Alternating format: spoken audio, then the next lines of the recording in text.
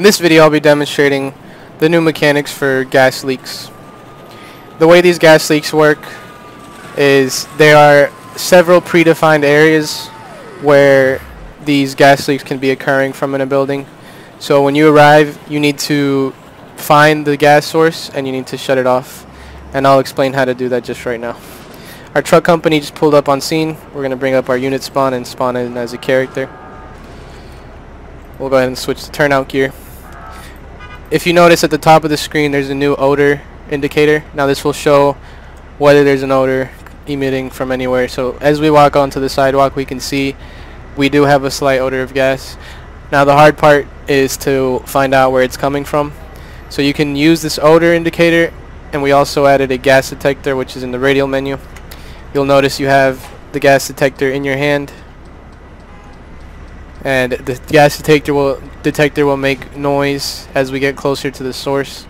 So we're going to start searching for the source and see if we can't find it. So it's not in here. Let's check around the rear of the building perhaps. We got the hit again over here. Okay. This gas main's clear.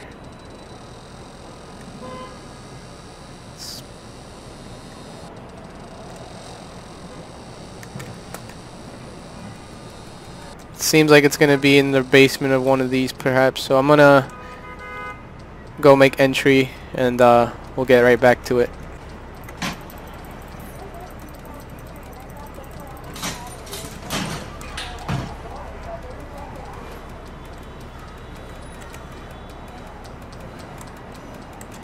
Nothing in here. Seems like it's more towards this side perhaps in this basement. We're gonna make entry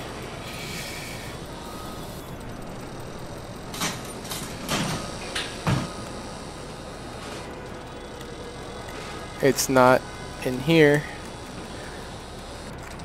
Let's check uh, next door.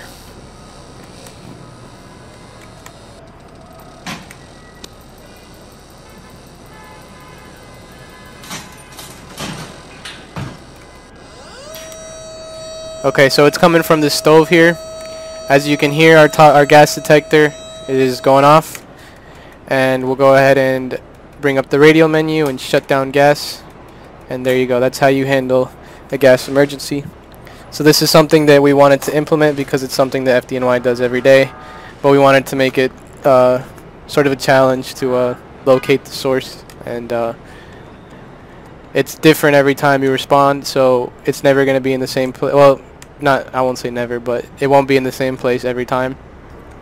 So in this building for example you have like maybe 20 to 15 different places where the gas can come from whether it's a gas heater, the stove, a gas meter.